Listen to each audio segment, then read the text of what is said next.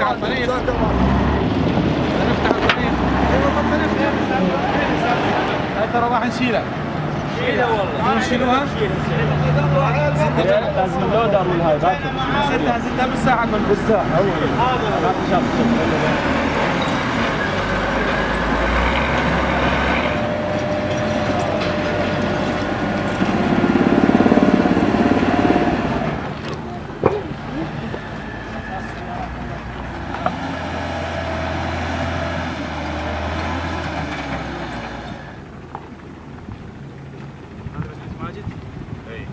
بس أخوي تفتح لنا هذا الشارع بالضبط.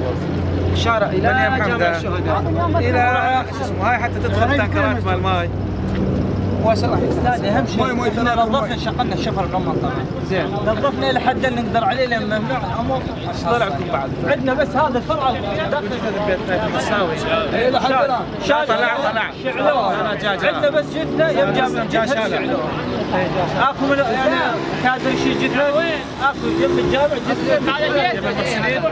عزيز الحكيم. جيرانه هذا فرع من جبل زهير هو جيران هو جيران الجامع هو جد واعي أخوي عربانات والله تفسخ أبغى الدفاع المدني خذته ما يقدر يشيله أبغى الشرطه تقول له يقول لك أنا ما اشيله. إحنا مدنيين نشيله بل بتشيله غير بالبيت بس يشيل البطانيات بالبيت لازم تطلعوا إيه زين بنطلع على شارع اللال ان شاء الله يا ما تعمل أنا ولا أنا شوف شو اسمه الساحه من كل منطقه خصصنا جنب المحطه خصصنا هاي الساحه مال مال هالمنطقة؟ إيه مال مال هاي المنطقة. حتى من تصير التعويضات. حتى من تصير التعويضات اللي جات تطلع على مكان.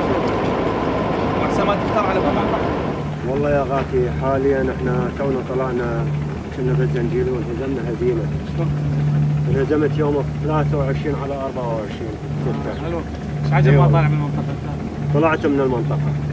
وقعدت يم سيطرة العقبه كانت جولتنا اليوم في حي العريدي والرفاعي. مع الجهد البلدي من أجل رفع الأنقاض وفتح الطرق وذلك من أجل إيصال الخدمات الإغاثية ومياه الشرب إلى هذه المناطق بعد تحريرها من تنظيمات داعش الإرهابية. ولاحظنا آه، ظاهرة سيئة وهي بعض ضعاف الأنفس يقومون بسرقة البيوت وحاجات الناس لذا نهيب بالمواطنين المتواجدين في هذه الأحياء. من منعهم وكذلك نطالب القوات الأمنية ومديرية شرطة نينوى من أجل إيصال الحماية.